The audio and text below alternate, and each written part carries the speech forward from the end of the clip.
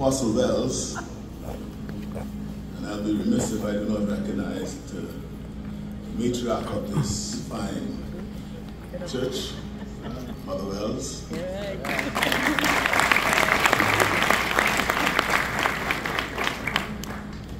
Dr. Tetteh, welcome.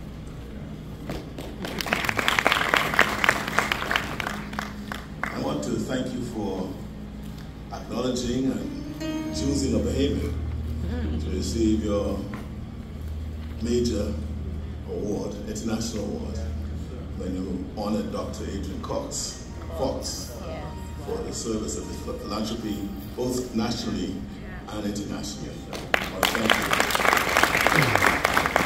Very often it's said, you know, um, a prophet is not recognized or not in his own home. But uh, in Ghana, I also saw Bahamians. So you're welcome here, you're one.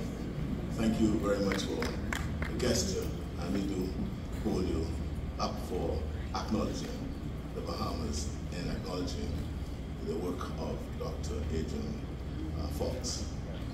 To our Secretary Cabinet, uh, permanent secretaries, um, esteemed public servants, both past and present, as I said, the members of the Living Waters congregation, other distinguished guests, good morning once again.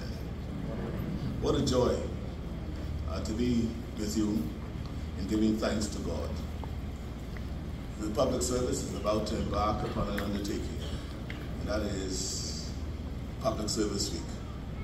And it's been said somewhere that before we engage in any great undertaking, that we should always invoke the aid of deity. And that's what the public service do today.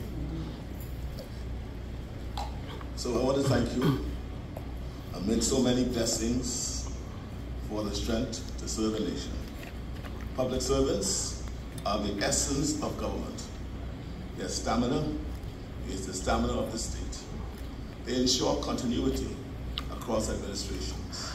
Indeed, they convey our nation's past while forging a common future.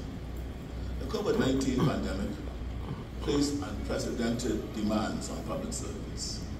Many served on the front lines of a health crisis to ensure crucial government services were functioning. This was no